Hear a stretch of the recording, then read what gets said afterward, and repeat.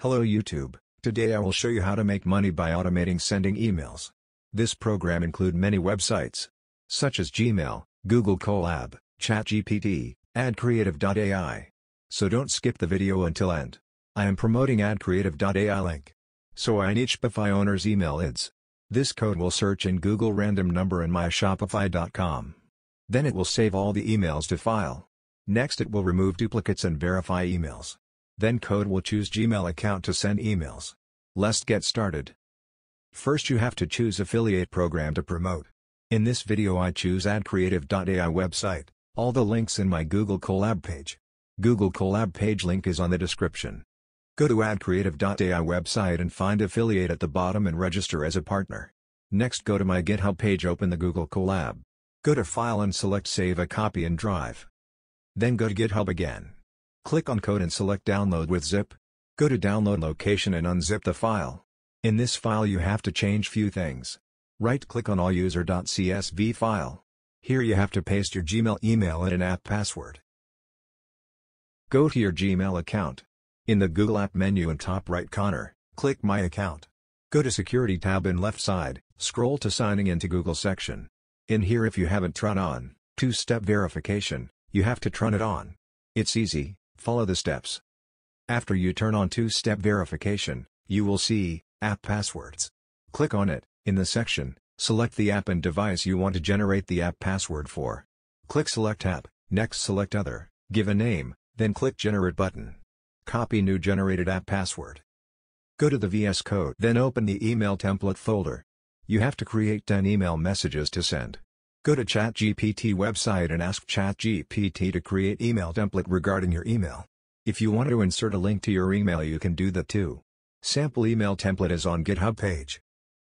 Then create 10 messages and save file name as message1.txt.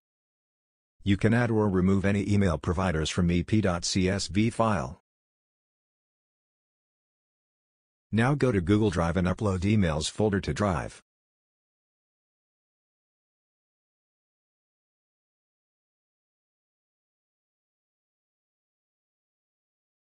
Next go back to Google Colab. Click on Table of Contents and select Files. Here you have to give access to Google Drive. Go to Mount Drive and give access to Colab to your drive.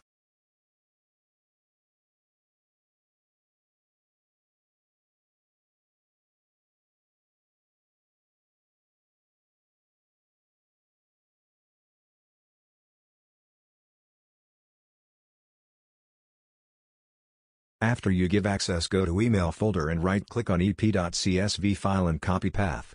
Go to search emails and save code section and show code. Then paste the path near email provides file. Check the path and code path is same or not. If it's correct it's OK. If not replace the path to all folders. So to check this is working fine you have to send yourself a email. To do that select send email yourself and click on show code. Change this lines. Now install the packages. Next run the send email yourself. If everything is correct you can see your email land in your input email. Now go to search email and send section and show code. In this you have to change this lines.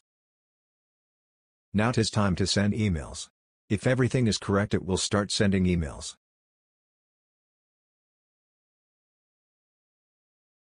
If you found this video helpful, please consider subscribing to the channel to stay up to date with the latest content. Subscribing not only shows support for the channel but also ensures that you won't miss out on any future helpful videos. Thank you for watching and subscribing.